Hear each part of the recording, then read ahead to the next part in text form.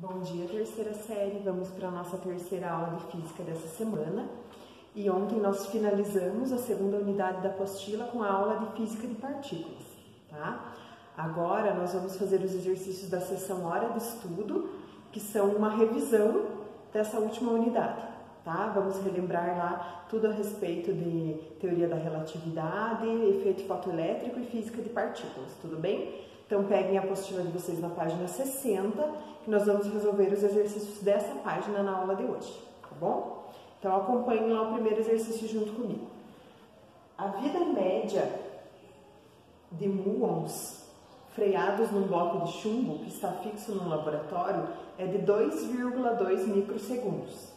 A vida média dos muons com grande velocidade numa explosão de raios cósmicos observada da Terra é de 16 microsegundos. Então, observe, a velocidade deles aqui na Terra é 2,2 microsegundos, mas a velocidade deles durante uma explosão de raio cósmica, que quando eles estão com uma velocidade próxima da luz, a gente já estudou que acontece a dilatação do tempo.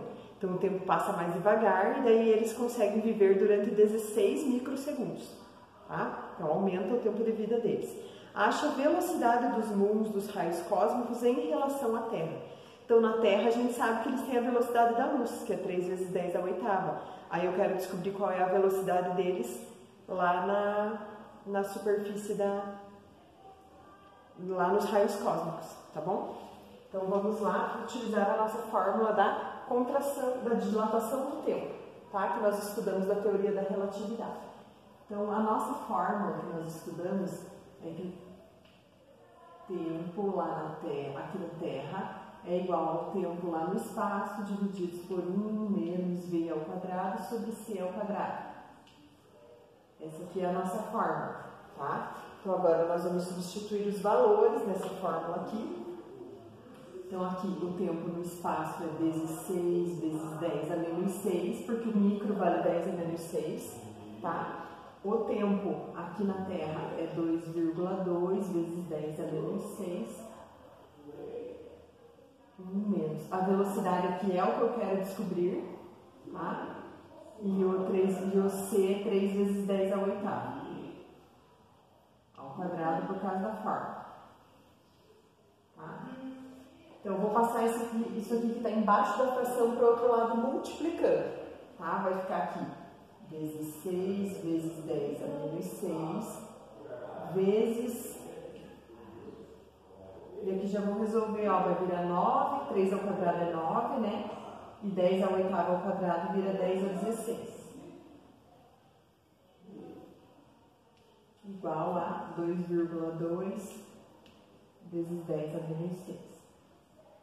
Agora eu vou passar esse 1,6 aqui, ó, para o outro lado dividindo, se eles estão multiplicando aqui os dois, um passa para o outro lado lá dividindo tá? Vou ficar aqui com 1 menos v ao quadrado sobre 9 vezes 10 a 16, aqui ainda é raiz, né? Igual a 2,2 vezes 10 a menos 6, divididos por 16 vezes 10 a menos 6. Então, aqui, ó, posso cortar os 10 a menos 6, por ser uma multiplicação, né? Eu posso cortar e para eu eliminar essa raiz quadrada desse lado, gente, eu tenho que fazer o contrário do lado de lá, tá? Eu tenho que fazer, elevar o quadrado do lado de lá para poder cortar a raiz. Então, aqui eu vou ficar com 1 menos v ao quadrado sobre 9 vezes 10 é 16. E do lado de lá eu vou ficar aqui com... Do... Primeiro eu divido, né? 2,2 por 1,6, que dá 0,1375. E daí eu elevo esse valor ao quadrado. Tá? Porque para tirar a raiz daqui eu levei ao quadrado lá. Agora, é, só vou inverter, tá? Vou deixar o v ao quadrado sobre 9 vezes 10 a 16 sozinho. E vou deixar é, para isolar o v, né? Daí números para um lado e letra para o outro. Vou continuar aqui do lado, ó, tá? Esse exercício é bem extenso. Então, eu vou ficar aqui com 1 menos, elevando aqui, ó, 0,1375 ao quadrado, eu chego no valor de 0,019. Então, 1 menos 0,019 é igual a v ao quadrado sobre 9 vezes 10 a 16. Tudo bem? Aí diminuo aqui, ó, vai dar 0,98. E o 9 vezes 10 é 16, passa para cá multiplicando. Multiplicando aqui, eu chego na resposta de 8,83 vezes 10 é 16.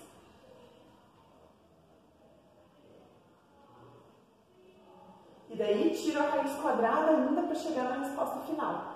Tá? Tirando a raiz quadrada aqui, eu vou chegar numa resposta de 2,97 vezes 10 ao oitavo. Então, ó, essa é a velocidade dos muons na explosão do raio cósmico. Tá? porque a gente sabe que a velocidade da luz é 3 vezes 10 a oitava, então estão um pouquinho abaixo da velocidade da luz, tá bom? Então façam aí a cópia do nosso exercício, do primeiro exercício, e vamos para o número 2.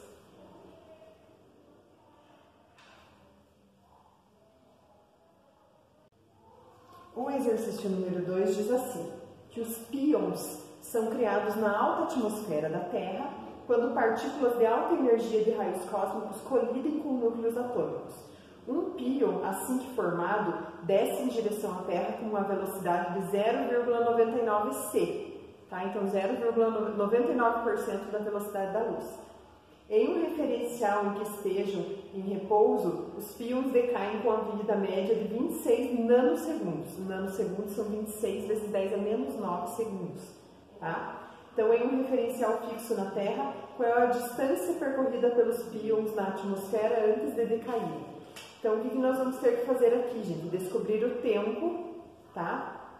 Que os pions demoram para decair. Eu tenho o tempo deles em relação ao repouso, referencial repouso, preciso descobrir o tempo lá no espaço que vai ser maior. Daí depois eu vejo pela velocidade, tá? Pela fórmula da velocidade média.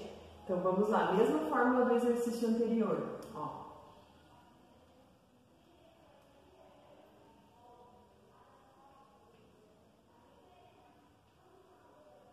É a fórmula da dilatação do tempo, tá? Para eu calcular o tempo que falta.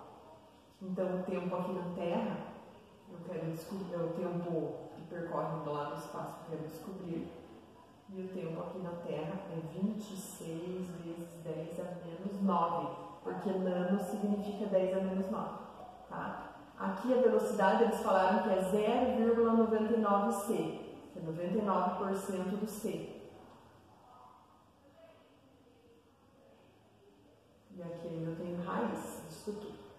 Tá? Então, continuando resolvendo aqui, parte de cima da fração eu só repito por enquanto, né? Porque eu vou resolver aqui na parte de baixo. O c ao quadrado vai dar para cortar e 0,99 ao quadrado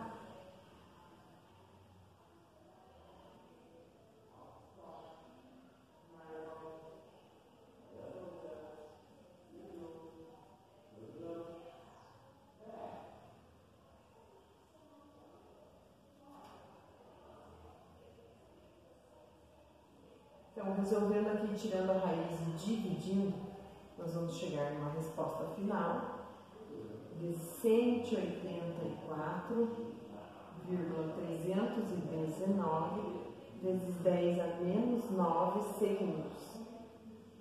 Tá? Então, de 26 nanosegundos passou para 184 nanosegundos. Tudo bem?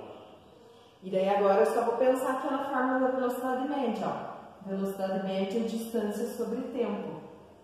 Então, se a velocidade dele é 0,99 c e o c é 3 vezes 10 a oitava, a distância eu quero descobrir e o tempo é esse tempo aqui que eu acabei de descobrir. 184,319 vezes 10 a menos 9. Tá? Finalizando aqui, vou multiplicar 0,99 por 3 e esse valor aqui debaixo da fração vai passar para cá multiplicando também, tá? Multiplicando tudo isso aqui, eu chego numa resposta de 54,7 metros.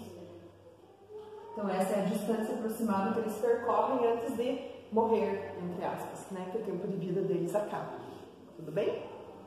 Então, aqui temos o nosso exercício 2. Agora, os exercícios 3 e 4, para finalizar a nossa aula de hoje, é, são só exercícios teóricos, tá? Então, o exercício 3 diz assim, que é, a teoria da relatividade vai falar sobre a contração dos espaços, né? Os objetos se tornam menores devido à alta velocidade com que eles se locomovem. Então, vocês têm que marcar a alternativa é, de como que vai ficar aquele cubinho da, da, da imagem da apostila, que está se movimentando para a direita de vocês, quando ele está com uma velocidade próxima à velocidade da luz.